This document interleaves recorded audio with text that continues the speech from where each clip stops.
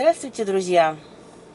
Вот после нашей поездки по Чикаго мы как бы немножко переосмыслили тему иммиграции. У меня появились какие-то мысли по этому поводу, и я хотела бы с вами сегодня поделиться этими мыслями. А вопрос очень простой. Почему люди уезжают? Уезжают из страны, где они э, родились и выросли, уезжают из страны, где э, существуют их родители, остаются или находятся могилы предков, и все-таки они решают уезжать. А, и мне кажется, что правильно было бы а, вопрос поставить не почему они уезжают, а от чего они уезжают. И вот такая постановка вопроса, она сделает более осмысленным сам вопрос переезда.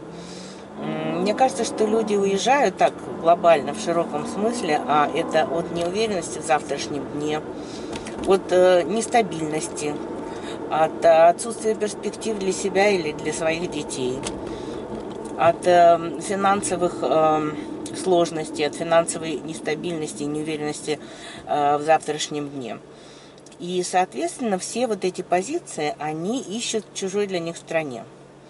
И когда они подводят, э, проводят подготовку к иммиграции, пытаются понять, где все-таки, в какой стране в каком месте решение всех этих перечисленных проблем сделать легче и, может быть, более короткие сроки, то они пытаются собрать больше информации, проанализировать ее и принять какое-то э, для себя правильное решение.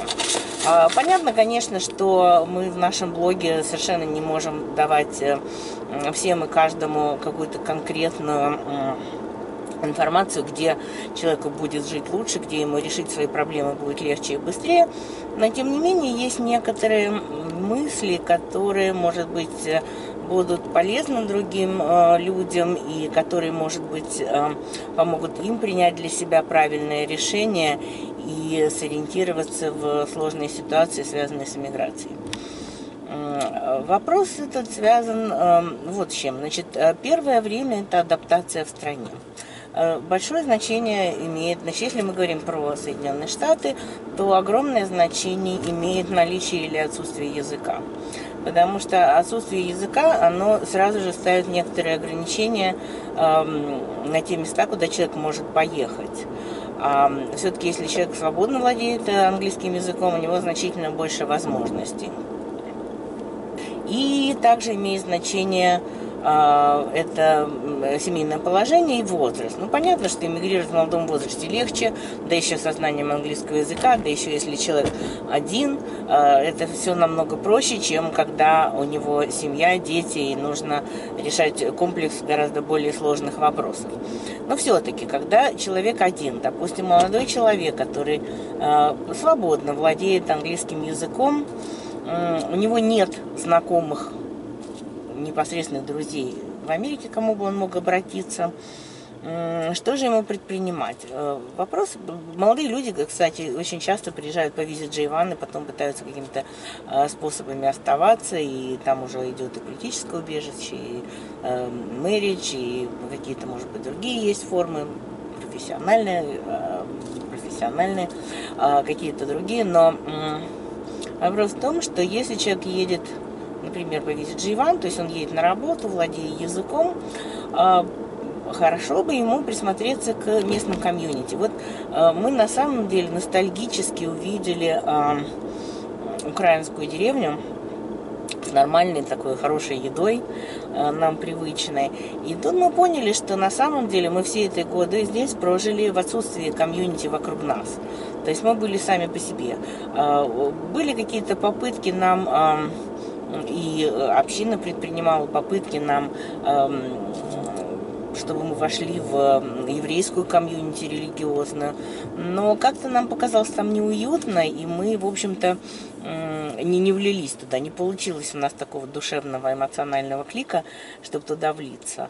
Надо понимать, конечно, что комьюнити, у каждой комьюнити свои правила и свои порядки. В основном комьюнити здесь, они основываются на религиозной почве. А часто комьюнити бывают такие большие, вот, например, в этой украинской вилледже в Чикаго, у них есть, э, мало того, что есть церковь, куда все ходят, где все общаются, где легко завести нужные контакты, может быть, получить какую-то работу легальную или нелегальную, но у них есть также и детский садик, и школа. То есть люди как-то сразу, получается, что они обихожены какими-то сервисами, наверное, в зависимости от их финансового положения, они могут получить какую-то скидку на эти сервисы. То есть им выживать э, немножко легче. Но то же самое происходит и не в русскоязычных комьюнити. Они тоже, конечно, религиозные, есть какие-то межконфессиональные комьюнити, но если человек приезжает и не знает, куда ему влиться, то имеет смысл пойти в какую-то близкую ему по духу церковь, и, может быть, там он найдет э, понимание и какую-то помощь от других людей, потому что дельные советы и какая-то помощь в первое время, они, конечно, очень необходимы. Хорошо, если удастся э, попасть в какую-то русскоязычную комьюнити, это действительно большая поддержка. Но и американские комьюнити тоже будут оказывать какую-то э, посильную помощь. Способность э, прижиться э, в американской комьюнити, она опять же, связано с тем, что насколько человек открыт к принятию других ценностей. Потому что, конечно, это все другое, другая страна, люди немножко по-другому живут. И вот эта готовность принять вот эти ценности и присвоить их, да, и быть родным среди э, чужих ему людей, это, в общем-то, некоторое напряжение, но э, это преодолимое напряжение, потому что молодой человек, э, не обремененный семьей, э, может влиться в это все и как-то почувствовать себя дома, где люди ему помогают от всей души и рады его приезду. И, собственно, так приезжала и наша э, иммиграция. Не мы конкретно, а вот те, которые ехали еще до нас, ребята приезжали в совершенно незнакомые уголки Америки, их встречали еврейские общины, и они там как-то приживались, и на первое время это было хорошо. Это была реальная помощь.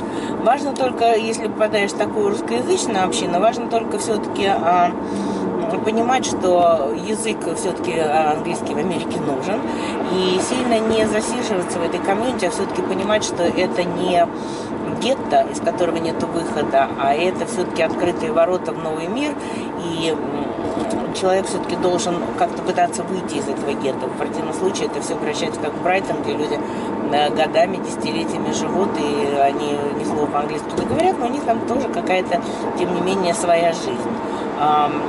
Когда мы были на Брайтоне много лет назад, ну вот такая среда, такая комьюнити нас как бы не привлекла. Но тем не менее, на начальном этапе почему нет? Очень многие люди приезжали на Брайтон, приживались там, находили какую-то первую работу, потом адаптировались, у них появлялся хороший английский, они находили лучшую работу и уезжали куда-то. И это как бы нормальный способ эм, иммиграции такой успешной, когда человек поначалу получает какую-то помощь, потом он уже становится на свои собственные ножки и топает дальше по этой своей новой жизни. Комьюнити помогают, могут помочь найти первую работу. И, безусловно, и американские, и русскоязычные. Эта работа, скорее всего, не будет очень квалифицированная, но это будет какой-то источник дохода. И, может быть, даже это будет источник дохода для человека, у которого нет права на работу. Поэтому такая помощь, она очень ценна и очень важна комьюнити, чем больше комьюнити, тем больше у нее возможностей по нахождению вот такой вот работы. А, я знаю ребят, которые приехали и пошли э, вот э, в синагогу, в еврейскую комьюнити и предложили работу там садовников обрезать кусты какие-то. Не бог весь какая работа, не, не, не бог весь сколько они платили, но тем не менее даже эта работа помогла им продержаться на плаву и э, дождаться того момента, когда они получат право на работу и когда они уже смогут устроиться на нормальную работу. А, после того, как человек получает право на работу, он уже начинает смотреть более осмысленно по сторонам, проходит какое-то время и начинает думать, а что же ему делать дальше, собственно, и где ему жить дальше. И вот это вопрос очень интересный, потому что, а, как мы заметили, даже путешествуя вот по Middle В Middle Америке, а, мы увидели, что жизнь, например, в Чикаго или жизнь в пригородах Чикаго, там в полутора-двух часах езды совершенно разная. Так же, как она разная у нас. Одно дело это городской урбанизированный образ жизни, другое дело это такой довольно-таки сельский образ жизни. Хотя нельзя сказать, что легкая жизнь всюду, нет, легкой жизни не бывает, всюду надо потрудиться, всюду есть свои сложности, но тем не менее эта жизнь разная. А, ну и люди приезжают разные. Кто-то привык к серьезному ритму большого города, кто-то приезжает из маленького городка, и ему тяжело находиться в таком бешеном ритме. А, поэтому можно выбирать себе как бы жизнь поспокойнее. Мы, честно говоря, вот э, с Михаилом, хоть и выросли мы в крупных городах, и я себе вообще не могла представить, как мы будем жить в каких-то маленьких городках, но тем не менее мы э, мы вначале приехали в город Сан-Франциско, а потом через полтора года решили, что нам нужно переехать в долину, потому что работа была здесь. И я в этот момент очень опасалась, думала, как же мы поедем в деревню, где люди живут в своих домах, мы привыкли жить в многоквартирных домах, это совершенно не наш образ жизни. Нас очень это пугало. Тем не менее, сейчас я чувствую себя настолько комфортно, и я уже даже понимаю, что я бы не хотела и не могла бы жить в квартире. Мне как-то было бы там тесно, без участка, куда можно выйти, выпустить детей, как-то места больше и просторнее. Поэтому понятия людей меняются. Вот. Но нельзя сказать, что у нас в долине ритм жизни расслабленный. Я думаю, что это, конечно, уникальная ситуация, когда такой деревенский образ жизни сочетается с ритмом э, жизни большого города и со всеми его проблемами. Э, дальше вопрос вот какой. Свободное время, свободные деньги, семья, дети. Каждый выбирает для себя. А кто-то выбирает во что бы то ни стало Силиконовую долину, где все безумно дорого. И сейчас уже можно сказать, наверное, на 99%, что приезжающие люди, скорее всего, не смогут здесь афордать, э, не будут в состоянии купить себе отдельное жилье. А просто по той простой причине, что цены у нас совершенно сумасшедшие. Цены на съем жилья сумасшедшие, что не дают возможности накопить никаких денег. И покупка жилья тоже стоит очень дорого, и э, накопить таких денег это э, если только человек не привез с собой денег достаточно down payment, это нереально просто. Поэтому, но здесь хороший климат, да, здесь тяжелые условия труда, потому что э, люди, которые работают в IT-сфере, это не нормированный рабочий день, это легко может быть, это, то есть то, что это не 8 часов, это точно, но это может быть и 10 часов в день, и 12 часов в день, и на протяжении длительного периода, в особенности, если это стартапы, и там нужно гнать, гнать, гнать. В этих условиях, конечно, мало времени остается на семью, мало времени остается на детей. Э, да, деньги зарабатываются, но они уходят на э, жилье, они уходят на бесконечных нянь, водителей, которые фактически занимаются воспитанием вашего ребенка. И в нашем ритме жизни вот, вот такие вещи происходят. Дети видят родителей только перед сном э, почитать книжку. А, вот мы наблюдали жизнь Сергея, который живет недалеко вот от этого Сент-Джозефа, где мы были. А, там совершенно другая жизнь, там более расслабленный ритм жизни, там профсоюзы, а, там люди ходят на работу от и до. Даже если смена 12 часов, то это смена 12 часов и потом целая неделя выходных. И плюс еще обычные выходные. Ну, в общем, эм, как бы жизнь носит более такой размеренный уклад и остается довольно много времени на общение с семьей, общение с детьми. И мы тоже понимаем важность и ценность этих э, вещей э, для того, чтобы быть с детками, для того, чтобы понимать, что у них, как они растут, и присутствие родителей в жизни детей значит очень много. Таким образом, выбирая место, куда вы едете, вы, в общем-то, заранее понимаете, что это будет сопряжено с разным ритмом жизни ритм жизни крупного города, может быть, Силиконовой долины, и ритм жизни такой более спокойный. Что же касается денег, тут вопрос очень интересный, потому что э, вот назывались такие цифры, что прожиточный минимум вот там вот в этом Сент-Джозефе 45 тысяч. То есть если семья из двух человек получает 45 тысяч в год, этого будет достаточно, чтобы приобрести, например, дом за 160 тысяч, выплачивать его потихонечку. Э, у них какие-то деньги там будут оставаться, может не будет оставаться. Но если они получают не 45 тысяч, то есть не 12,50 в час, например, да, а 15 долларов в час, то это уже 60 тысяч.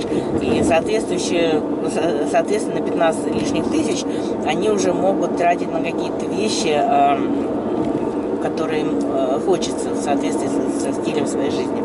А в Силиконовой долине для того, чтобы получилось лишние 15 тысяч, это нужно уже зарабатывать очень большие деньги, потому что здесь прожиточный минимум очень высокий, и жить здесь, в общем-то, финансово довольно-таки тяжело. Получается, что свободные деньги легче заработать в глубинках. Вот там, где прожиточный минимум невысокий, тогда любая прибавка к жалованию, она, в общем-то, идет все в копилку, и таким образом получает свободные деньги, а в Америке все доступно. В любой части Америки каждый человек может приобрести это из другого конца, то есть таких проблем дефицитов у нас нету и, соответственно, качество жизни существенно может быть выше, чем в долине, где все деньги уходят просто на, как билка в колесе, люди крутятся, крутятся, крутятся, работают, но этого хватает только вот на их поддержание существования, и лишних денег не остается. А, конечно, нам скажут, вот у вас в Калифорнии какой климат, а какой климат в Чикаго. Это правда. В Калифорнии многие люди едут именно потому, что здесь такой климат, хотя и надо сказать, что по нашему опыту этот климат довольно-таки сильно портится, э, становится более жарким. Если раньше люди вообще в домах не имели кондиционеров, то сегодня это уже, в общем-то, предмет необходимости. То есть уже нужно иметь, потому что летом жарковато. Но есть статистика, которая говорит, что организм адаптируется к климату в течение пяти лет. А у нас есть приятели, которые живут в Аризоне, где летом очень жарко но они как бы живут там уже много лет, им нравится, и да, у них включен кондиционер, вот их организм как-то приспособился жить в сухом и жарком климате, и, в общем, это их не напрягает. Точно так же люди в Чикаго живут. Я вам скажу более того, что климат России, если так на него посмотреть со стороны, не такой уже это приятный климат, чтобы так э, говорить, вот мы приехали, а тут, дескать, хуже. Мне кажется, что в России климат тоже, дай бог каждому, тоже не, фонтан. Поэтому вопрос климата я бы отложила на более такую как бы дальнюю полку, понимая, что люди приспосабливаются. Да, им нужна зимняя одежда, зимняя одежда от ветра, от дождя, от снега, от холода и так далее. Но тем не менее, мы понимаем, что все-таки эта иммиграция, она решает а, вот эти вот э, проблемы, от которых люди уезжают. А, иммиграция дает и финансовую стабильность, и уверенность в завтрашнем дне, потому что как бы человек сам определяет свою судьбу, он в малой степени зависит от государства. Когда люди живут вот в небольших а, районах, э, и там есть какие-то наниматели, э, в принципе, люди живут жизнь, как, которой они жили раньше, когда у них был один наниматель всю жизнь. Эм, да, конечно, может так случиться, что этот наниматель либо выйдет из бизнеса, либо с ним что-то случится, и может быть вариант того, что им придется переехать. Вот у нас приятель переехал, работал много лет на одном предприятии, но там как бы была угроза того, что оно закроется, и он постепенно-постепенно он переехал в совершенно другой штат, другой климат, э, на лучшие условия работы. Такое тоже бывает. Но, во всяком случае, понимая вот все эти мелкие вещи, а, можно сказать, что иммиграция как бы решает те проблемы, от которых человек уезжает, если подходить к этому правильно и разумно, да, то есть для начала неплохо бы поехать туда, где подешевле, осмотреться, попасть в комьюнити, так легче, там есть первая работа, какое-то минимальное выживание, а потом осмотреться и подумать, куда же все-таки ехать дальше. Вот такие вот у меня размышления по этому поводу. И до скорых встреч.